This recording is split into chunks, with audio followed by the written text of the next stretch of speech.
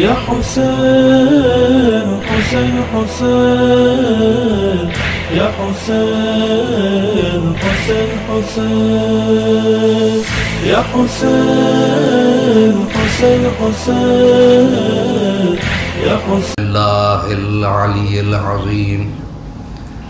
بسم الله الرحمن الرحيم.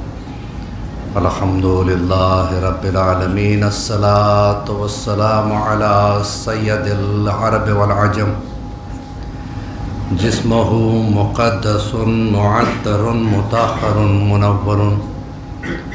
نور الخدا مصباح الظلم، جمیع الشمم، شفیع الاقم صاحب الجود والکرم.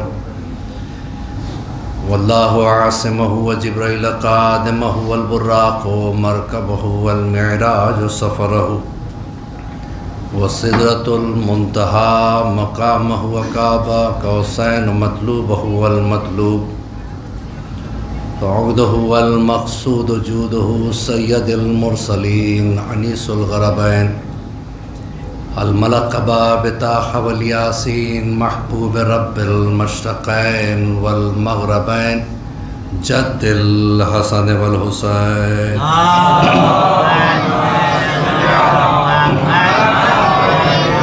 وعليه الطيبين الطاهرين المعصومين المظلومين المنتجبين من يومنا هذا إلى قيام يوم الدين. أما بعد فقد قال الله تبارك وتعالى في محكم كتابه المجيد وهو أصدق الصادقين وقوله الحق بسم الله الرحمن الرحيم وما لي لا أعبد الذي فطرني وإليه ترجعون۔ صلوات الله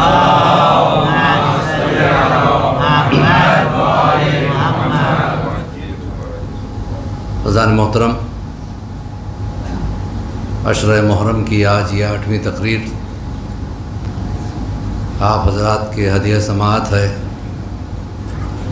مسلسل ہم گفتگو کرتے چلے آ رہے ہیں۔ معرفت اہل بیت اور معصومین کی مائیں لیکن افسوس کی بات یہ ہے کہ معصومین کی ماؤں پہ، ہر ماں پہ زیادہ ذکر نہیں ملتا۔ جتنا میسر ہے آپ حضرات کے سامنے میں پیش کرتا چلا ہے۔ کم سے کم ہمارے بچوں کو یہ معلوم ہونا چاہیے کہ کس امام کی ماں کا نام کیا ہے۔ یہ کانسیپٹ ہے۔ اور سب سے بڑی بات یہ ہے کہ الحمدللہ ہمارا بچہ بچہ محبت علی ابن ابی طالب علیہ السلام سے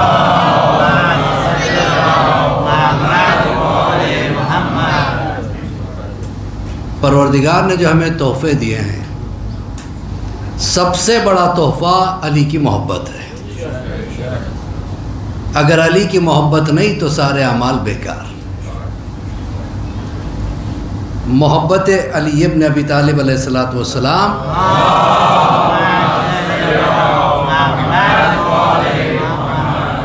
کنجی ہے تمام عقائد کی۔ اگر یہ عقیدہ صحیح نہیں ہے تو پھر باقی عقیدے بیکار ہیں۔ دیکھیے، آج دنیا میں ہر چیز کو ناپنے کا ایک سکیل ہے۔ دودھ کو اگر ناپنا ہو تو لیٹر کے ذریعے سے ناپا جاتا ہے۔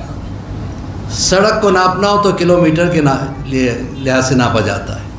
کپڑا ناپنا ہو تو میٹر کا استعمال ہوتا ہے۔ اور اگر چاول یا گیہوں وغیرہ ناپنا ہو تو ڈیجیٹل سکیل ہوتا ہے۔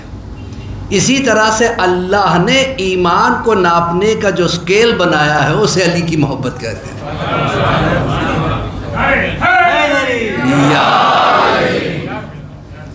بغیر اس کے کوئی عمل بیکار ہے۔ یہی تو سمجھنا ہے کہ ان کی شخصیت کیا ہے۔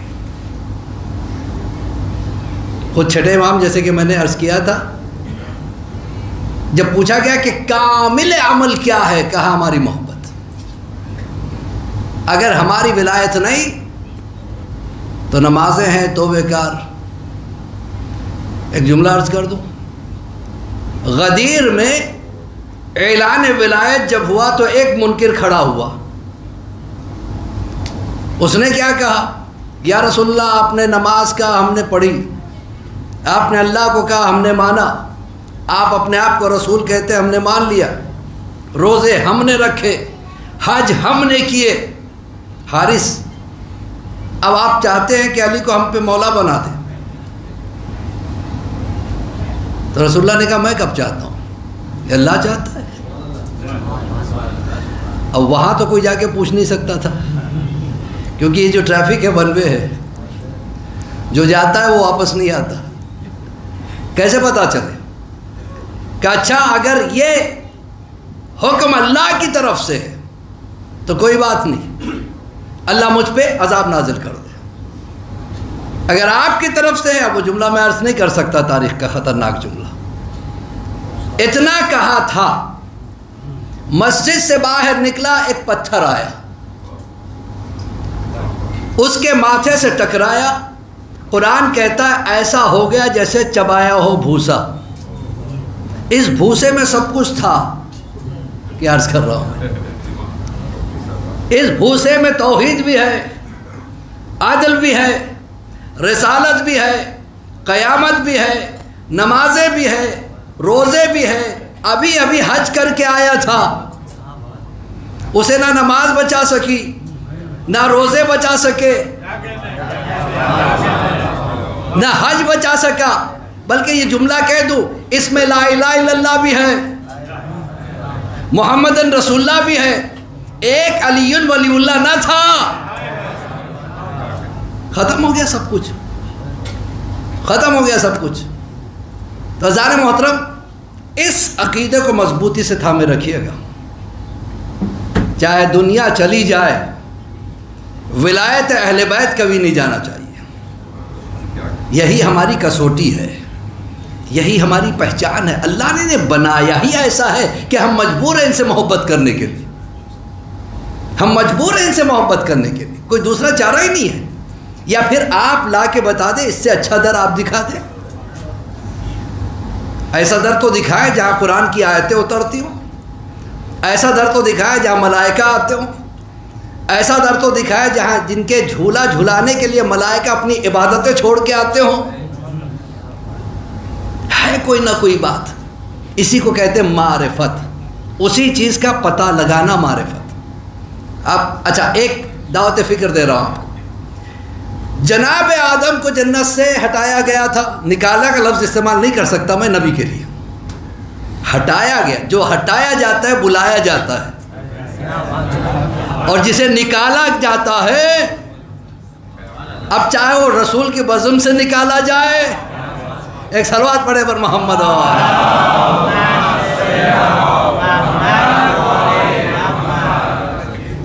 جناب آدم کو ہٹایا گیا تھا۔ جب ہٹایا گیا، آدم یا لباس بھی دے دو۔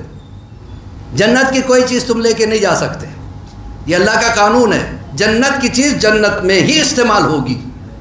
جنت کے باہر نہیں استعمال ہوگی۔ لن تجد و سنت اللہ ہے تبدیلا۔ اللہ اپنی سنتوں کو کبھی بدلتا نہیں ہے۔ میں کہوں گا پروردگار، تو نے کہا تھا آدم سے، جنت کی چیز جنت سے باہر نہیں جائے گی۔ پھر کیا وجہ ہے؟ سیدہ کے لیے قانون کیوں بدل گیا؟ سیدہ کے لیے کیوں قانون بدل گیا؟ لباس آیا تو وہاں سے۔ انار آئے تو وہاں سے۔ کپڑے آئے تو وہاں سے۔ تو عجب نہیں جواب دے۔ جو قانون تھا نہیں بدلا، وہی قانون ہے۔ جہاں خاتون جنا ہے، وہی جنت ہے۔ ایک سلوات پڑے پر محمد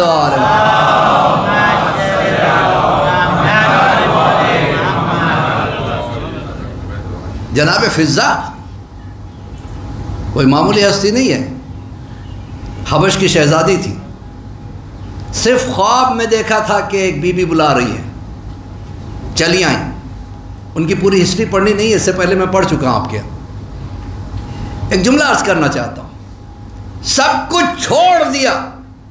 تخت تاج، سب کچھ، دولت، سب کچھ چھوڑ کے چلی آئیں جناب فضا سیدہ کے دروازے پہ۔ یہاں آنے کے بعد جھاڑو دے رہی ہے۔ جھاڑو دے رہی۔ ہے لوگ ہم سے پوچھتے ہیں کربلا میں۔ بعض لوگوں نے پوچھا کہ وہاں جا کے ہم نے دیکھا کہ لوگ جھاڑو دیتے ہیں۔ جبکہ یہاں بڑے مالدار لوگ ہوتے ہیں وہ لوگ وہاں جا کے جھاڑو دینا کہ تمہیں کیا پتا؟ یہ سنت ہم فضا سے لی ہے جناب فضا جھاڑو دے رہی ہیں ابی بن کعب۔ تراوی کا سب سے پہلا پیش نماز۔ گزر رہا تھا ادھر سے۔ فضا سلام۔ فضا نے کہا، علیکم سلام۔ کیسی ہیں آپ؟ الحمدللہ سب خیر ہے۔ کہ میں آپ کو جنت کی بشارت دے رہا ہوں۔ کیا جملہ فضا کا۔ تو کب سے جنت کی بشارت دینے لگا؟ وہ جس کی ہے وہ بشارت دے۔ تو کہنے لگا ہاں یہ بات تو صحیح ہے۔ کہ سن آج تو کہہ دیا۔ آئندہ میرے لیے جنت کی دعا نہ دینا۔ کہ کیوں؟ کہ جس گھر میں مالک نہ ہو، وہ گھر گھر نہیں کہلاتا۔ کہ وہ جنت لے کے کیا کروں گی؟ جس کے شہزادے یہاں موجود۔ جس کی شہزادی یہاں موجود۔ تو یہ میرے لیے جنت ہے۔ یہاں پہ جھاڑو دینا میرے لیے بہت زیادہ اس سے۔ زار محترم، دعا کیجیے گا کہ اہل بیت کے دروازے سے ہمیں کچھ نہ کچھ خیرات میں مل جائے۔ کچھ دنوں پہلے میں نے نوجوان بچوں کے لیے ایک میسیج بھی دیا تھا۔ آج کل سوشل میڈیا نے ہمارے بچوں کو برباد کر دیا۔ آپس میں ملنا جھلنا بہت آسان ہو گیا ہے۔ پہلے کی طرح پابندیاں نہیں ہوتی تھی پہلے ماں باپ پابندی لگاتے فلاں سے نہیں ملنا، بس نہیں ملتا۔ پھر موقع ہی نہیں ہوتا۔ لیکن آج سوشل میڈیا نے برباد کر دیا۔ محرم، نامحرم کی قید ختم ہو گئی۔ گناہ تو کرتے بھی ہیں اور گناہ کا ذکر بھی کرتے ہیں۔ فخر کے ساتھ میں نے یہ کیا یہ کیا۔ ایسے بچوں کے لیے آج ایک نصیحت آمیز واقعہ سنا تو انشاءاللہ۔ ہو سکتا ہے کسی بچے کو اس سے نصیحت مل جائے۔ دیکھیے، مجلس امام حسین میں آ کے اگر آپ میں تبدیلی نہیں پیدا ہوتی چینج نہیں پیدا ہوتا، دیکھیے، آپ یونیورسٹی میں جب جاتے ہیں تو کچھ اور ہوتے ہیں۔ یونیورسٹی میں جانے کے بعد جب ڈگری لے کے نکلتے ہیں، آپ کی شخصیت بدل جاتی ہے۔ جب دنیا کی یونیورسٹی آپ میں چینج پیدا کر سکتی ہے، تو حسین کی یہ یونیورسٹی۔ اگر یہاں پہ آپ میں چینج نہیں آیا جیسے تھے ویسے ہی ہیں۔ تو پھر مجلس حسین کے ساتھ انصاف نہیں کیا۔ ایک لڑکا ہوا کرتا تھا ایران میں۔ رضا نام تھا۔ نام تو بہت بڑا۔ رضا۔ تہران کا واقعہ ہے۔ میں نے ایک عالم دین سے سنا۔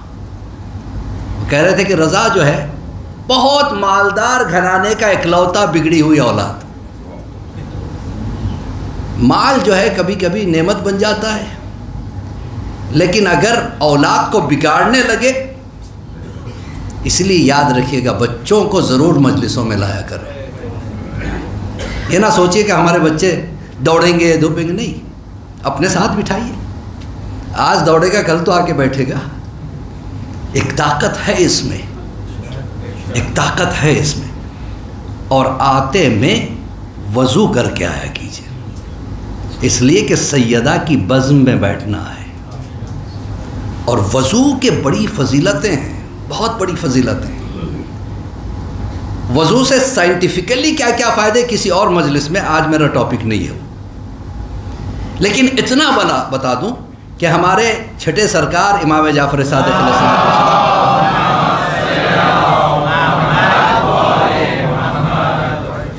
فرماتے ہیں کہ آزائے وضو، چہرہ، ہاتھ، سر اور یہ پیر محشر میں نورانی ہو جائیں گے، جو باوضو رہا کرتا ہے۔ وضو سے کئی چیزیں، روحانی فائدے سن لیجیے۔ جسمانی فائدے تو ایک سائنٹیفک ٹاپک ہو جائے گا انشاءاللہ، وہ پھر کبھی۔ روحانی فائدے کیا ہے؟ وضو سے شیطان دور ہوتا ہے۔ وضو سے شیطان دور ہوتا ہے، وضو سے بلائیں دور ہوتی ہیں۔ اگر آپ وضو کر کے گھر سے نکلیں تو ایکسیڈنٹ نہیں ہوگا۔ ذمہ داری لے لیتا ہے اللہ۔ اس لیے کہ جو وضو کر کے، جو نماز کے لیے نہیں، نماز کے لیے تو ضروری ہے، واجب ہے۔ بغیر نماز کے جو وضو کر کے نکلتا ہے تو سات فرشتے اس کے آگے پیچھے حفاظت کرتے ہوئے چلتے ہیں۔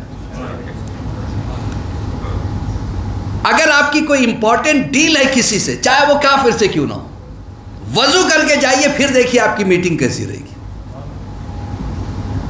اور یہ عادت بچوں میں ڈالیے۔ جیسے آپ کہتے ہو نا، بیٹا ہاتھ دھو، کھانا کھانے سے پہلے اس سے کہو وضو کرو۔ دیکھیے، ایک فکر دے رہا ہوں میں آپ کو۔ ماں باپ سکھاتے ہیں، بچے سیکھ کے پیٹ سے نہیں آتے۔ رات میں جیسے آپ کہتے ہو، برش کر کے سونا، کہ یہ وضو کر کے سو۔ برش کرو، اس کے بعد وضو کر کے سو۔ اذان محترم بہت بڑی چیز ہے۔ تو بہرحال، رضا بگڑ گیا تھا، دولت تھی ایک لوتا تھا، ماں باپ کہنا بھی چھوڑ دیے تھے۔ کیا کہیں گے، جوان بچہ ہے، کہیں گھر چھوڑ کے نہ چلا جائے۔ بڑی دعاؤں اور منتوں کے بعد پیدا ہوا تھا۔ نتیجہ یہ ہوا کہ وہ بیڈ سرکل میں چلا گیا۔ گمراہ ہو گیا۔ باپ نے گاڑی لے کے دے دی۔ اے ٹی ایم کارڈ اس کے پاس رہتا تھا، جب چاہے، جتنا چاہے، جہاں سے چاہے، لے لے، کچھ پوچھنے والا نہیں۔ نتیجہ یہ ہوا کہ وہ روز حرام کاری کا شکار ہو گیا۔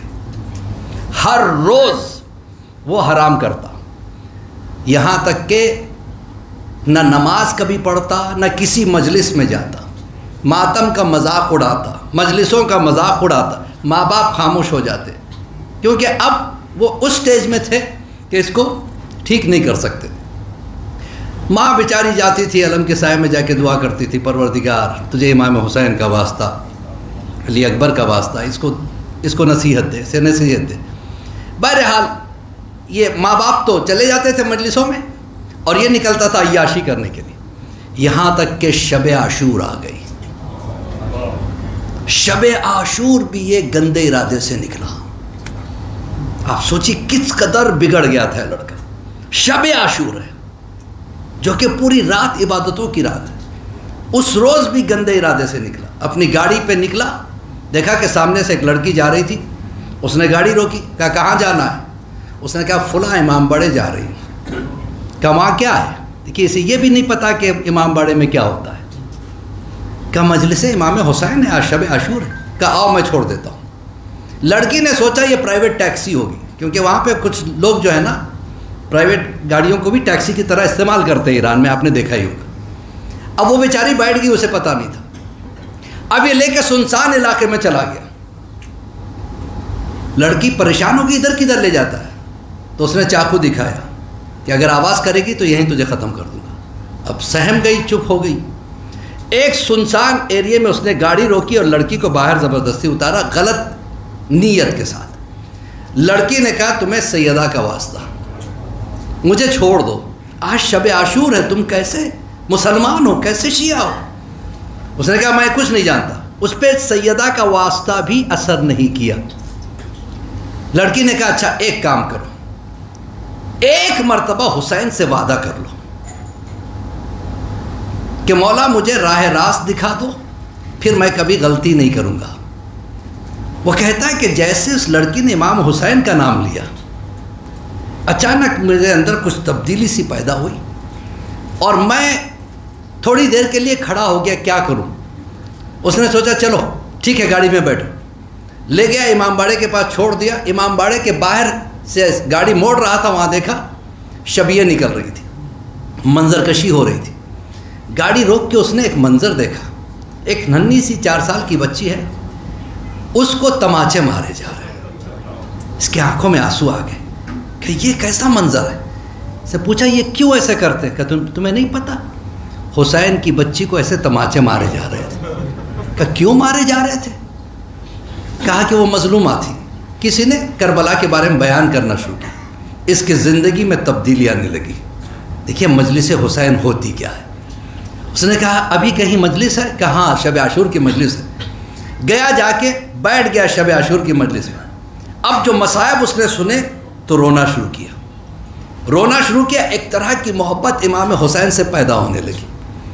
گھر واپس آیا، گم، سم، ماں آئی، دیکھتی ہے، بیٹا، کیا بات ہے؟ کہا، کچھ نہیں۔ باپ نے پوچھا، کیا بات ہے؟ کہا، کچھ نہیں۔ صبح جب اٹھنا نماز کے لیے تو مجھے بھی اٹھا دینا۔ دیکھیے، لوگ کہتے ہیں، بھائی، آپ تو ماتم ماتم کرتے ہو مجلس مجلسیں کرتے ہو، نماز کا۔ میں تو کہتا ہوں، جو حسینی نہیں، وہ نمازی بھی نہیں۔ اور جو حسینی ہے وہ نمازی ضرور ہے۔ اب یہ ہوا۔ میں نے کہا ٹھیک ہے، اٹھا دیتی ہوں۔ اٹھایا، صبح اٹھا، نماز پڑھی۔ اس نے کہا، آج روز عاشور ہے کہاں؟ آج کے روز کیا ہوا تھا کربلا؟ میں ماں نے بتانا شروع کیا۔ کہ آپ ناشتہ نہیں کریں گے؟ کہا کہ آج میرا حسین بھوکا پیاسا تھا، ہم نہیں کرتے ناشتہ۔ کہ اچھی بات ہے، میں بھی نہیں کرتا۔ ماں نے دیکھا، ایک تبدیلی اس کے اندر آ گئی۔ اب اس کے بعد گیا۔ ماتم کیا۔ ماتم کیا، روتا رہا، ماتم کیا، روتا رہا۔ اور بار بار یہی کہتا رہا، مولا مجھے معاف کر دو۔ میں نے آپ سے معاملہ کیا ہے۔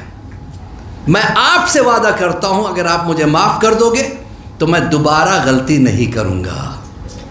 اب نتیجہ یہ ہوا کہ وہاں پہ ایک شخص جو قافلے لے کے جایا کرتا تھا، اس نے اس جوان کو ماتم کرتے ہوئے، روتے ہوئے دیکھا تو قریب میں آیا، کربلا چلو گے۔ دیکھیے، مولا حسین جب اپناتے ہیں تو ایسے اپناتے ہیں۔ کربلا چلو گے۔ کہا کہ میں کماتا نہیں ہوں اور میں اپنے باپ کے پیسے پہ نہیں جانا چاہتا۔ کہا نہیں۔ کہا ٹھیک ہے، کربلا چلا گیا۔ جب کربلا گیا، سب امام حسین کی ذریعے پہ جا رہے تھے۔ اسے کہا، چلو، یہ کانپ رہا تھا۔ کانپ رہا تھا۔ دیکھیے، جہاں توفیق آ جاتی ہے، جہاں معرفت آ جاتی ہے، یہ حالت ہوتی تو کہا، کیوں کانپ رہے ہو کہ میں نے سنا امام حسین سے پہلے عباس کے روزے پہ جانا پڑتا ہے۔ مجھے عباس سے ڈر لگتا ہے، حسین سے حیات۔ کیا منہ لے کے جاؤں گا؟ کہا، نہیں، تم جاؤ، نہاؤ اور چلو۔ بہرحال، اس کے نوجوان ساتھیوں نے اسے ہمت دیا، جا کے وہ نہایا۔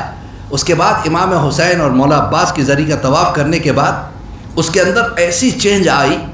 دن رات وہاں پہ زری کے پاس کھڑا رہتا، لوگوں کی خدمت کرتا۔ یہاں تک کہ اربعین کے بعد واپس ایران آ گیا۔ کچھ دنوں کے بعد پھر وہی شخص نظر آیا۔ مکہ چلو گے؟ کہا میرے پاس پیسے نہیں ہیں؟ میرے ذمے ہے مکہ لے کے چلا گیا۔ دیکھیے جب حسین اپناتے ہیں، ایسے اپناتے ہیں۔ اسی وجہ سے جب حسین کی بارگاہ میں آنا، بھکاری بن کے آنا، غریب بن کے آنا، رئیس بن کے نہیں آنا، بھکاری بن کے آنا۔ اب یہ ہوا کہ جب ماں اور باپ نے دیکھا کہ ہمارا بچہ ٹوٹل بدل گیا تو ایک دن ماں نے کہا، بیٹا اب شادی کر لو۔ اب تم سدھر گئے ہو، ماشاءاللہ۔ بہترین اولاد بن گئے ہو۔ ہماری عزت بھی کرتے ہو، ہمارا احترام کرتے ہو، ہمارے سامنے سر اٹھا کے بات نہیں کرتے، نماز کے پابند ہو گئے ہو۔ اور دولت کے ہمارے پاس کمی نہیں ہے، شادی کر لو۔ کہ ٹھیک ہے میں جیسے آپ کہیں۔ کہ میں نے ایک لڑکی کو دیکھا ہے۔ اگر تمہیں وہ پسند آ جائے تو کر لینا شادی۔ چلو میں تمہیں لے کے چلتی۔ گئے لے کے۔ اب لڑکی حجاب میں باہر نکلی، چائے دینے کے لیے جیسے اس کو دیکھا بے ہوش ہو کے گر گئی۔ یہ وہی لڑکی تھی۔ جیسے اس کو دیکھا بے ہوش ہو کے گر گئی۔ جب ہوش میں آئی تو اسے پوچھا گیا کہ کیا ہوا؟ کہ میں کیا بتاؤں؟ مجھے نہیں پتا تھا کہ یہ جوان یہ ہے۔ کا مطلب کیا ہے؟ کہ رات کو میں نے شہزادی سیدہ کو خواب میں دیکھا اور کہا، کل ایک جوان تمہیں رشتہ مانگنے کے لیے آئے گا، اس کے رشتے کو ٹھکرانا نہیں، اس لیے ہم نے اپنا لیا ہے۔ تو ازان محترم، کب اس بارگاہ سے کس کو کیا مل جائے؟ کوئی نہیں کہہ سکتا۔ یہ بارگاہیں ایسی ہے اسی لیے انہیں باب الحوائج کہا جاتا ہے اور بالخصوص مولا عباس کو باب الحوائج کہا جاتا ہے۔ امام موسی کاظم تھوڑا تھوڑا سا آگے۔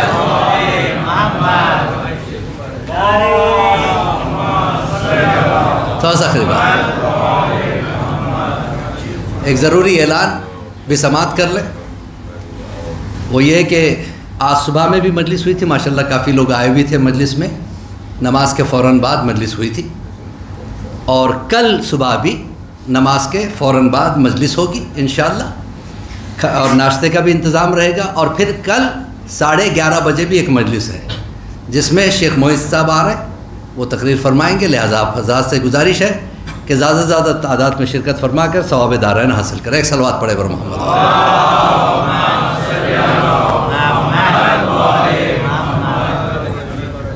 ہمارے ساتویں امام ان کی والدہ کا نام حمیدہ مغربیہ تھا۔ یہ کنیز بن کے جو ہے نا آئی تھی چھٹے امام کا ایک چاہنے والا ہے۔ وہ کہتا ہے کہ میں چھٹے امام سے ملنے گیا تھا۔ ایک مہر بند تھیلی رکھی ہوئی تھی۔ تو میں نے امام سے کہا، مولا، یہ تھیلی کیسی؟ کیا اس میں کچھ پیسے ہیں فلاں بازار میں جانا اور فلاں حلیے کی ایک کنیز ہے، اس کو خرید کے لے آنا۔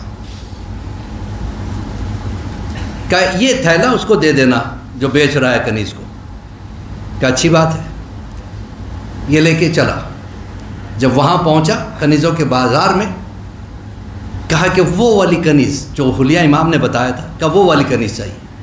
کہا کہ وہ میں لے کے تو آیا ہوں، لیکن وہ اس کو بیچ نہیں سکتا کسی کو۔ کہا، کیوں؟ کہ وہ کسی کو ایکسیپٹ نہیں کرتی۔ اور جو اسے خریدنا چاہتا ہے غیب سے تماچے لگتے ہیں اور گھبرا کے چھوڑ کے چلا جاتا ہے۔ جو بھی اس کے قریب جانا چاہتا ہے اسے تماچے لگتے ہیں۔ پتہ نہیں اس پہ جنات ہے یا کیا ہے۔ لے کے آیا ہوں، واپس لے کے بھی چلا جاؤں گا میں۔ کہنے لگے، نہیں، میں خریدنے کے لیے آیا ہوں۔ ہمارے امام نے بھیجا بس اسے اتنا کہہ دینا کہ امام نے بھیجا ہے۔ اب جیسے کہا گیا حمیدہ مغربیہ کھڑی ہوگی۔ کہا کہ اس سے طے کر لو کتنا ہے۔ اس آدمی نے کہا کہ ٹھیک ہے، اگر خریدنا چاہتے ہو تو اسی دینار ہوں گے، اس سے ایک بھی کم نہیں ہوگا۔ کہ یہ تو مجھے نہیں پتا، میرے امام نے یہ دی ہے۔ اب اس نے جو تھیلی کھولی تو اس میں نہ ایک زیادہ نہ ایک کم۔ اسی کے اسی دینار۔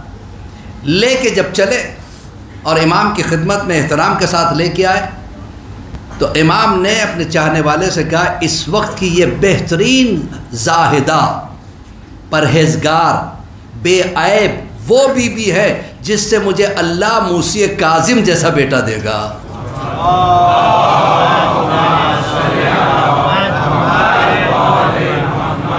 جو باب الحوائج بھی ہوگا۔ اور امام کی خدمت میں آنے کے بعد یہ بی بی عالمہ بن گئیں۔ زاہدہ تو پہلے سے تھیں۔ متقی پہلے سے تھی۔ ہمارے ساتویں امام کہتے ہیں کہ میں نے کسی رات میری ماں کو سوتا ہوا نہیں دیکھا۔ اللہ کی عبادتوں میں۔ اور عورتیں ان سے فقہ کے مسئلے پوچھنے کے لیے آتی ہیں۔ جب امام کے پاس آتے، امام کہتے، جاؤ، حمیدہ مغربیہ سے پوچھو۔ ان سے بہتر تمہیں کوئی نہیں سمجھا سکتا۔ جب امام کی بارگاہ میں آئے، ایسے بلند ہو جاتے ہیں۔ اور یہ تو چنی ہوئی تھی، امام کی ماں بھی مر رہی تھی۔ امام موسی کاظم علیہ السلام باب الحوائج ہے جی۔ ایک شخص امام کے پاس پہنچا، کہنے لگا، مولا، میں کیا بتاؤں، بڑا پریشان ہوں۔ کہ کیا پریشانی؟ ہے کہ فلاں میرے دوست کو میں نے مدد کیا تھا، اس کے پاس پیسے نہیں تھے، میں نے اس کو قرضہ دیا تھا۔ اب وہ قرضہ واپس کرنا نہیں چاہتا۔ یہ مسئلہ آج بھی بہت سو کے ساتھ ہے۔ آج کی تقریر کا یہ تحفہ ہے آپ کے لیے۔ کیا وہ پیسہ واپس نہیں ملتا؟ کئی سال ہو گئے جب بھی اس کے پاس جاتا ہوں، وہ مجھ سے بات ہی نہیں کرتا، گھر میں رہتا ہے، انکار کر دیتا۔ میں کیا کروں؟ امام نے بڑا پیارا جملہ کہا۔ دیکھو، یہ دو حالت ہے۔ یا تو اس کے پاس پیسے نہیں ہیں، وہ شرم کے وجہ سے تمہارے سامنے نہیں آنا چاہتا، یا پھر اس کی نیت خراب ہے۔ دو میں سے ایک ہے۔ تم یہ سمجھنا کہ تم نے جو پیسہ دیا ہے، یہ تمہاری خیریتی کے لیے صدقہ ہے۔ اگر اس کے پاس پیسے نہیں ہیں، تو جتنا ثواب ہر روز اتنے پیسے نکالنے کا ہے۔ اللہ ہر روز تم کو دے گا۔ کتنا پیارا امام ہے۔ اگر اس کے پاس پیسے نہیں ہے وہ مومن ہے، نہیں دے پا رہا ہے۔ سختی سے سوال نہ کرنا۔ اسی پیسے کو اللہ تمہارے لیے صدقہ جاریہ بنا دے گا۔ اور اگر ہے اور نہیں دینا چاہتا، تو تم ایک عمل کر لینا۔ کہ وہ عمل کیا ہے؟ کہ روز عشاء کی نماز کے بعد ایک سو آٹھ مرتبہ سورہ حمد کی تلاوت کر کے اللہ سے کہنا، پروردگار، میں نے اس کے لیے نیکی کی تھی، اس کے دل میں بھی نیکی پیدا کر اور وہ میرے پیسے لا کے دے دے۔ وہ شخص کہتا ہے، میں گیا کچھ دنوں، یہ عمل نہ کیا تھا کہ وہ شخص خود میرے پاس آئے۔ آ کے کہنے لگا، یہ پیسے تمہارے لے لو، مجھ سے غلطی ہو گئی تھی، جب تک تمہیں دیے نہیں تھے۔ تو زان محترم، یہ اعمال جو ہمیں ملتے ہیں، اہل بیت اتھار کے تحفے ہیں، اگر یہ نہ ملتے تو انسان کا پتہ نہیں کیا ہوتا۔ اور دوسرے باب الحوائج ہمارے مولا عباس آج تاریخ مولا عباس کی ہے نا؟ اگر مولا عباس کو سننا ہے تو ایسے آمادہ ہوئیے جیسے عباس کو سننے کے لیے ہونا چاہیے۔ ایک بلند ترین سلوات پڑھے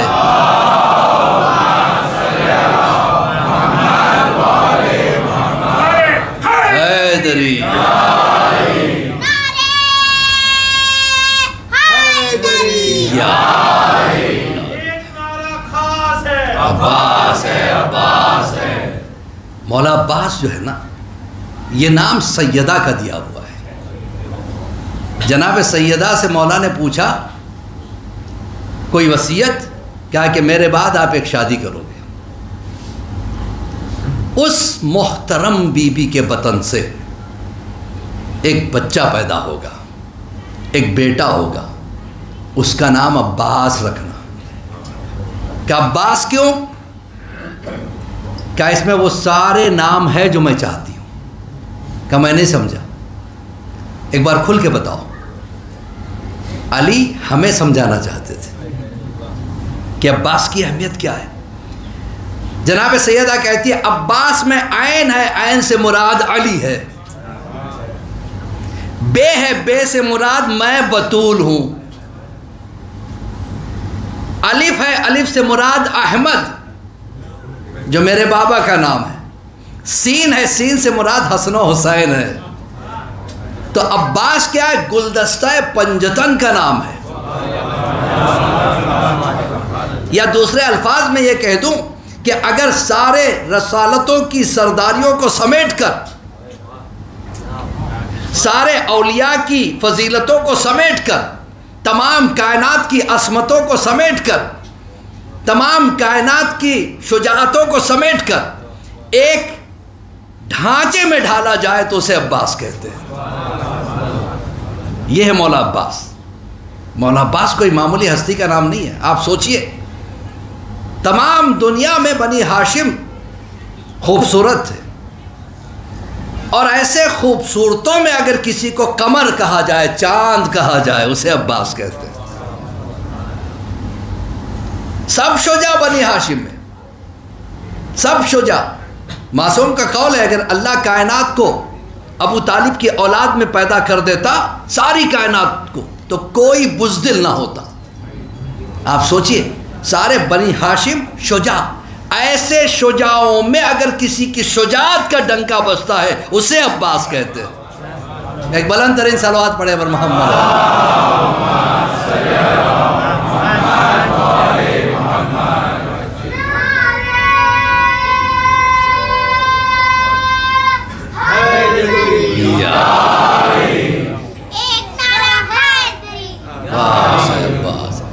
تو ازان محترم ہمارے لیے حکم ہے زین و مجالسکم بذکر علی ابن ابی طالب۔ اپنی مجلسوں کو زینت دو۔ مطلب کیا ہے؟ مجلس سے مراد یہ مجلس نہیں ہے۔ مجلس جلسہ سے بنی ہے۔ بیٹھو۔ جب بھی ایک بیٹھو، دو بیٹھو، چار بیٹھو، پانچ بیٹھو، ادھر ادھر کی باتیں کرو گے تو غیبت ہوگی۔ لہذا مولا نے اس کے اوپر چیک لگا دیا۔ رسول اللہ کیا کہتے ہیں؟ جب بھی تم اکٹھے بیٹھو تو علی کے ذکر سے زینت دو۔ علی کا ذکر۔ ہمارے لیے تو حکم ہے کہ علی کا ذکر کرے۔ لیکن جہاں علی بیٹھے، جہاں حسن بیٹھے، جہاں حسین بیٹھے، جس کا ذکر چھڑ جاتا تھا، اسے عباس کہتے ہیں۔ یہ ہے جناب عباس۔ مولا کائنات نے کبھی اپنے لیے اللہ سے کچھ نہیں مانگا۔ مانگا تو ہمارے لیے مانگا۔ ہے دوسروں کے لیے مانگا، اپنے لیے نہیں مانگا۔ اگر مانگا اپنے لیے تو ایک بار مانگا۔ کہ پروردگار میرے شجاعت کا وارث دے دے۔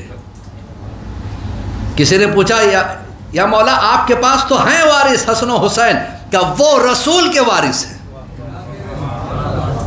میرا وارث عباس ہے۔ یہ ہے جناب عباس۔ اتنے حسین تھے، جب بازار سے گزرتے تھے تو لوگ تولنا چھوڑ دیتے تھے، دیکھتے رہ جاتے تھے۔ مولا نے آ کے کہا کہ عباس کے چہرے پہ نقاب ڈال کے بھیجا کرو۔ پھر بھی نقاب ڈالنے کے بعد بھی چھن چھن کے جو نور باہر نکلتا تھا نقاب سے۔ اور مولا عباس کی پرسنالٹی ہائٹ پرسنالٹی ایسی تھی کہ لوگ دیکھتے کہ دیکھتے رہ جاتے تھے۔ کوئی گھوڑا جو ہے، ان کے لیے بڑے سے بڑا گھوڑا لایا جاتا۔ آج اگر گھوڑے پہ آدمی بیٹھ جاتا ہے تو اتنا سا لگتا ہے۔ بڑے گھوڑے کی بات کر رہا ہوں۔ لیکن مولا عباس جب بیٹھتے تھے تو دونوں پیر کے انگوٹھے زمین کو لگتے تھے۔ تو امام حسن نے پوری دنیا میں ڈھونڈوایا تھا کہ سب سے بڑا گھوڑا کہاں ملے گا؟ حسان ملا جس کو لایا گیا۔ تو مولا عباس جب بیٹھتے تھے اس کے اوپر تو کہتے تھے امام حسن سجتا ہے عباس گھوڑے پہ بیٹھا ہوا۔ کیا حسن تھا۔ کیا جوانی تھی، کیا خوبصورتی تھی جناب عباس کی۔ آج ذرا آدمی کو تھوڑی سے کمالات مل جاتے ہیں تو اکڑ کے چلتا ہے۔ لیکن عباس کبھی امام حسین کے سامنے سیدھے کھڑے ہو کے بات نہیں کیے۔ جب بھی حسین کے سامنے آتے تھے، ایسے جیسے غلام آتا۔ بچپن سے ماں نے وہ تعلیم دی تھی۔ ماں نے وہ تعلیم دی تھی۔ میں آؤں گا ادھر کی طرف۔ ایک عالم دین نے ایک جملہ کہا عباس کی شجاعت کے بارے میں تو بہت کچھ ملتا ہے، لیکن علم کا پتہ نہیں، کوئی اتھنٹک بات ملتی نہیں ہے کہ کتنا علم تھا، صرف اتنا کہا۔ جب سویا تو رات میں خواب میں دیکھا کہ مولا عباس آئے۔ تو اپنے آپ کو عالم کہتا ہے، کہاں آپ گئے؟ جی میں نے علم حاصل کیا۔ کہاں سے حاصل کیا ہے؟ فلاں عالم سے۔ اس نے کہاں سے؟ فلاں عالم سے۔ اس نے کہاں سے؟ فلاں مدرسے سے۔ ان لوگوں نے کہاں سے؟ خاموش ہو گیا۔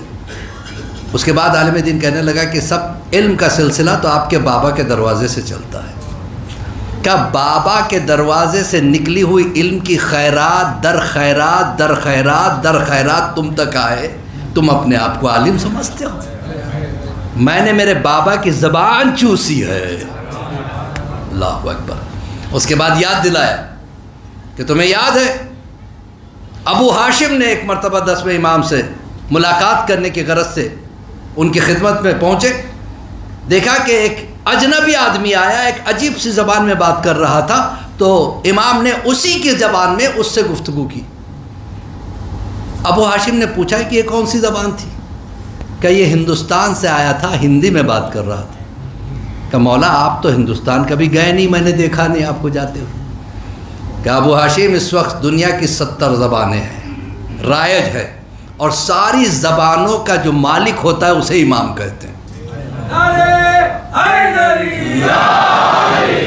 ابو ہاشم کے ذہن میں خیال آیا، کاش مجھے بھی کچھ زبانیں ملتی۔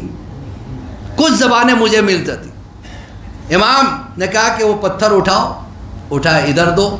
امام اپنے ہاتھ میں لیے اپنا لعاب دہن اس پہ لگایا۔ اپنا سالیوہ اس پہ لگایا کہ اس کو چاٹ لو، کیا خوش نصیب تھا ابو ہاشم نے چاٹ لیا۔ چاٹنے کے بعد کہتا ہے کہ میں پھر ستر زبانوں کا عالم بن گیا۔ اب جناب عباس کہتے ہیں جس کو ڈائریکٹ نہیں، پتھر کے تھرو اگر لعاب دہن مل جائے، وہ ستر زبانوں کا عالم ہو جاتا ہے۔ میں باب العلم کی زبان چوس کے بڑا ہوا ہوں۔ یہ ہے مولا عباس کی شان۔ اور ماں ملی۔ ام البنین جیسی۔ وفا دودھ سے آتی ہے۔ ام البنین صدا کہتی تھی، خبردار حسین، تمہارے بھائی نہیں، شہزادے ہیں۔ حسن شہزادے ہیں، وہ شہزادی کے بچے ہیں۔ تم کنیز کے بچے ہو، تم غلام ہو۔ خبردار حسین کے سامنے کبھی آواز اٹھا کے بات نہیں کرنا۔ حسین کبھی کچھ کہہ دے تو کیوں اگر مگر نہیں ہونا چاہیے؟ مولا عباس اس طرح سے بڑے ہوئے ایک مرتبہ کا واقعہ مولا عباس چھوٹے سے تھے۔ جناب زینب اکثر لے کے چلے جایا کرتی تھی۔ ایک دن جناب زینب لے کے گئی۔ لے جانے کے بعد کہا، میں کون ہوں تمہاری؟ کہا، آپ میری شہزادی ہے جناب زینب نے ننے سے عباس کو کہا، شہزادی، میں تمہاری بہن ہوں۔ کہا، نہیں، اماں نے کہا تھا، شہزادی کہنا۔ جناب زینب نے مصنوعی غصہ، سچ میں غصے نہیں ہو رہی۔ جاؤ میں تم سے بات نہیں کروں گی۔ بس اتنا کہا۔ یہ آئے۔ ماں کے پاس آئے۔ شہزادی نے کہا، وہ مجھ سے بات نہیں کریں گے۔ فوراً ماں نے کہا، جاؤ شہزادی سے معافی مانگو۔ جب گھر آئے تو دیکھا دروازہ بند ہو چکا ہے۔ ننا سا بچہ عباس دہلیج پہ بیٹھ گیا۔ بیٹھے بیٹھے وہیں نیند آئی، چوکھٹ پہ سو گیا۔ کہ کوئی بی بی ادھر سے گزر رہی تھی؟ دیکھا کہ ایک پیارا سا بچہ چوکھٹ پہ سو رہا ہے۔ گھر کا دروازہ کھٹکھٹ آیا تو زینب نے دروازہ کھولا، کیا بات ہے؟ کہ یہ بچہ کس کا ہے؟ رات بھر ادھر ہی سویا۔ زینب نے دیکھا، آنکھوں میں آنسو آ گئے۔ عباس کو سینے سے لگا کے کہتی، میرے لال، میرے بھائی، یہ کیا ہو گیا؟ کیوں یہاں پہ سو گئے؟ کہ اماں نے کہا تھا، جب تک آپ معاف نہیں کرو گی وہ معاف نہیں کریں گی، جس سے بچپن سے یہ تہذیب ملی ہو۔ آپ سوچے جب عباس جوان ہوئے تو بار بار ام البنین یہ کہتی تھی عباس وہ وقت آئے گا کہ تمہیں کربلا میں شہادت پیش کرنی ہوگی۔ عباس وہ وقت قریب ہے کہ تمہیں اپنے شانوں کو کھٹانا پڑے گا۔ اور مولا عباس اسی انتظار میں ہے، اسی انتظار میں ہے۔ یہاں تک کہ کربلا کا وقت آیا، جب یہ قافلہ چلنے لگا تو ایک مرتبہ حسین نے کہا اماریاں سجاؤ اماریاں سجائی گئی۔ تو راوی کہتا ہے کہ ایک طرف سے مولا عباس اور ایک طرف سے جناب علی اکبر اعلان کرتے رہے، خبردار، بنی ہاشم کے نوجوانوں، اپنے کوٹھوں پہ نہ جانا، اس لیے کہ ہماری شہزادی زینب گھر سے باہر نکل رہی ہے۔ میرا دل چاہتا ہے کہ عرض کرو اللہ اکبر، آج عباس کتنا انتظام کر رہا ہے کہ بنی ہاشم کے جوان کوٹھوں پہ نہ جائے۔ لیکن کوفہ و شام میں جب یہی بیویاں بے پردہ ماشاءاللہ آپ کی آوازیں بلند ہو رہی اللہ آپ کو کسی کے غم میں نہ رلائے، سوائے غم حسین کے۔ ہاں، حاضان محترم، اب ایک ایک بی بی سوار ہونے لگی۔ عباس پہرا دے رہے ہیں، علی اکبر پہرا دے رہے ہیں، حسین سوار کرا رہے ہیں۔ جب یہ قافلہ چلنے لگا تو ماں نے ایک مرتبہ عباس کو بلایا۔ آ، بلا کے کہتی ہے، بیٹا عباس ذرا میرے ساتھ چلو، مسجد نبوی میں چلو۔ ایک مرتبہ مسجد نبوی میں عباس اپنی ماں کے ساتھ پہنچے۔ کہا، بیٹا، یہ سارے دروازے بند کر دو، ایک مرتبہ دروازے بند کر دیے، کہ آپ کھڑکیاں بھی بند کر دو۔ اماں، کیا بات ہے؟ اماں، کیا آپ سن سکیں؟ اماں، کیا بات ہے؟ کہا، نہیں، میں حکم دیتی ہوں، ساری کھڑکیاں بند کر دو۔ ساری کھڑکیاں بند کر دی گئی۔ اب پردے کھینچ دو، پردے کھینچ دیے گئے۔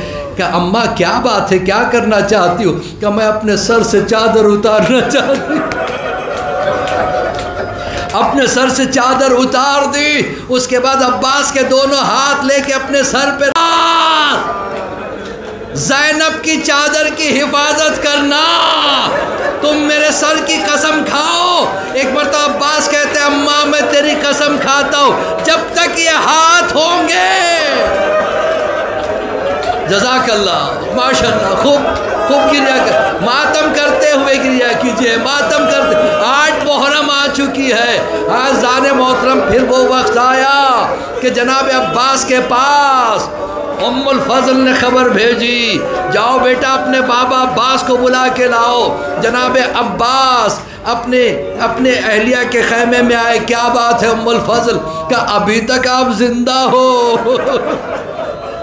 عباس کہتے ہیں، بار بار میں آقا کے پاس جاتا ہوں، اجازت دے دو۔ لیکن حسین اجازت نہیں دیتے۔ بتا میں کیا کروں؟ ایک مرتبہ ام الفضل کہتی ہے، میں مجبور ہوں، صبح سے سکینہ نو مرتبہ میرے خیمے۔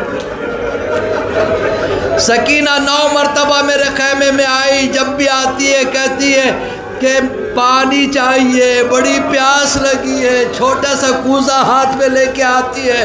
تو ایک مرتبہ ابھی باتیں چل رہی تھی، اس کے بعد ام الفضل نے کہا، جب نویں مرتبہ سکینہ آئی تو میں نے اپنے آپ کو مصروف کرنے کے لیے نماز میں کھڑی ہو گئی۔ میں نے دیکھا کہ سکینہ ایک پیر سے تھک جاتی تو دوسرے دوسرے پیر سے تھک جاتی تو پھر پہلے پیر سے مجھ سے برداشت نہیں ہوا، میں نماز سے فارغ ہوئی، سکینہ کو سینے سے لگایا۔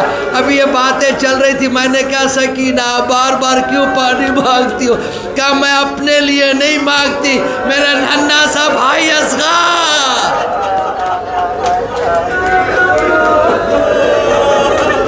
ماشاءاللہ، خوب خوب گریا کر رہے ہیں، آپ کی آوازیں بلند ہیں۔ خوب گریا کیجیے۔ میرا دل چاہتا ہے شاید ام البنین یا کہیں قریب میں بیٹھی ہو، کہیں سیدہ بیٹھی ہو، اے شہزادی، ہمارا پرسا لے لیجیے۔ ہاں زان محترم، پھر یہ ہوا کہ عباس، ابھی باتیں چل رہی تھی۔ اتنے میں شہزادی سکینہ ننہ سکوزہ لے کے آ گئی۔ ایک مرتبہ عباس نے کہا اچھا چلو میرے ساتھ، بابا کے پاس چلو، اجازت دلا دو، پھر دیکھو۔ اگر فرات کو کاٹ کے نہ لے آؤ تو عباس نہ کہنا۔ ایک مرتبہ حسین کے سامنے عباس پہنچے۔ ایک ہاتھ سکینہ کا پکڑے ہوئے، ایک ہاتھ میں مشکیزہ پکڑے ہوئے۔ حسین نے غور سے دیکھا، عباس اتنی بڑی سفارش لے کے عباس اتنی بڑی سفارش لے کے آ گئے۔ کہا کہ مولا سکینہ کی پیاس دیکھی نہیں جاتی۔ اتنے میں حسین نے سکینہ سے پوچھا، بیٹی، یہ کس کے لیے پانی مانگتی ہے؟ تو بچی نے کہا، میرے لیے نہیں، اصغر کے لیے پانی کا۔ اچھا تجھے تیرے بھائی سے اتنی محبت ہے؟ کہا ہاں بابا، بہت محبت ہے۔ کہا، کتنے سال کی محبت ہے؟ کہا، چھ مہینے کی۔ ایک مرتبہ حسین نے تڑپ کے کہا، تیرے چھ مہینے کی محبت؟ ارے، میرے بھائی سے چھتیس سال کی۔ اے سکینہ، میں بھائی کو کیسے اجازت دوں؟ اس کے بعد کہا عباس ٹھیک ہے، پانی لانے کی اجازت ہے۔ تلوار یہی چھوڑ جانا۔ ایک مرتبہ عباس نے تلوار چھوڑ دی، ایک ہاتھ میں نیزہ لیا، ایک ہاتھ میں علم پکڑا، سکینہ کے مشکیزے کو اپنے گلے میں ڈالا۔ عباس سکینہ کی طرف دیکھ رہے، سکینہ عباس کی طرف دیکھ رہی، یہ آخری ملاقات۔ پھر نہ عباس نے سکینہ کو دیکھا، نہ سکینہ نے عباس۔ میں تھم تھم کے پڑھ رہا ہوں، ماشاءاللہ خوب گریا ہو رہا ہے، خوب گریا کر رہے۔ جب گریا کرنا تو باب الحوائے سے مانگ لینا۔ اے مولا، ہمارے جتنے خواہشات ہیں اسے پورا کرنا۔ ہماری تمناؤں کو پورا کرنا۔ ہمارے بچوں کو نیک اور صالح بنا دینا۔ امام کے ظہور میں تاجیل عطا فرمانا۔ ہاں زان محترم، ادھر عباس چلے، سکینہ نے بچوں کو بلایا۔ سکینہ نے بچوں کو بلایا آؤ بچوں، دیکھو علم جا رہا ہے، عباس جا رہے، علم جا رہا ہے، عباس جا رہے۔ ہاں نہر کے کنارے علم رکا ہے، اب پانی بھر رہے ہوں گے، عباس پانی لا رہے ہوں گے۔ بچوں، ابھی گھبرانا نہیں، تمہیں پانی مل جائے گا، تمہیں پانی مل جائے گا۔ ادھر عباس چلے، اس طرح سے پہنچے تھے کہ ایک نیزے سے ایسے ایک ایک کو اڑاتے چلے جا رہے تھے۔ فوج چھٹتی چلی گئی، جب پانی پانی مشکیزے میں لیا عباس نے۔ اس کے بعد عباس پلٹ ہی رہے تھے۔ عباس پلٹ ہی رہے تھے کہ اچانک ایک ملعون نے عباس کے شانے پہ حملہ کیا۔ عباس کا ایک شانہ کٹ کے گر گیا۔ عباس جب شانہ کٹ کے گرا ہے نا، علم جھکا۔ سکینہ پریشان ہو گئی۔ بابا علم نظر نہیں آتا۔ بابا علم نظر نہیں آتا۔ ایک مرتبہ عباس نے دوسرے ہاتھ سے علم کو اٹھایا۔ سکینہ کہتی ہاں اب پانی آ رہا ہے۔ اب پانی آ رہا ہے۔ کچھ آگے بڑھے، کسی اور ظالم نے دوسرے ہاتھ میں حملہ کیا۔ جب دونوں ہاتھ کٹ کے گر گئے، اب علم نظر نہیں آتا۔ سکینہ پریشان ہے۔ اتنے میں ایک تیر۔ عباس کے مشکیزے میں لگا۔ عباس کا پانی جو بہا۔ عباس کی تمنا بہے۔ رہ گئی۔ اے اسپے با وفا اب سکینہ کو منہ نہیں دکھا سکتا۔ مجھے فرات کی طرف موڑ لے۔ ادھر گھوڑا مڑا ہے۔ کسی ظالم نے ایسا تیر چلایا جو عباس کی آنکھ میں لگا۔ جس وقت بشیر نے مدینے میں اعلان کیا کہ عباس کے سر پہ گرز لگا تو ام البنین نے کہا، بشیر تو جھوٹ بولتا ہے۔ میرا بیٹا اتنا بلند تھا، کسی ماں نے اتنا بلند بیٹا پیدا نہ کیا جو عباس کے سر پہ مارے، کہا نہیں بی بی عباس کے جب آنکھوں میں تیر لگا، ہاتھ نہیں تھے۔ ہائے عباس، تیر کیسے نکالے؟ عباس نے دونوں گھٹنوں کو اٹھایا، تیر کو گھٹنوں سے پکڑا، نکالنا چاہا۔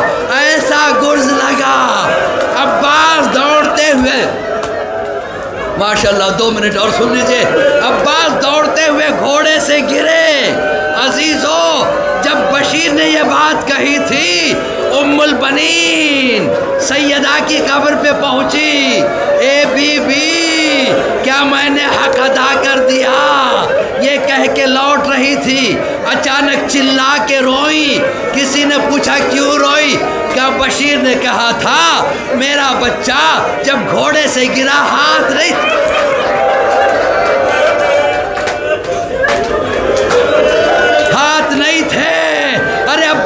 کیسے اپنے آپ کو گرایا ہوگا؟ سید سجاد کہتے ہیں، عباس منہ کے بل گرے۔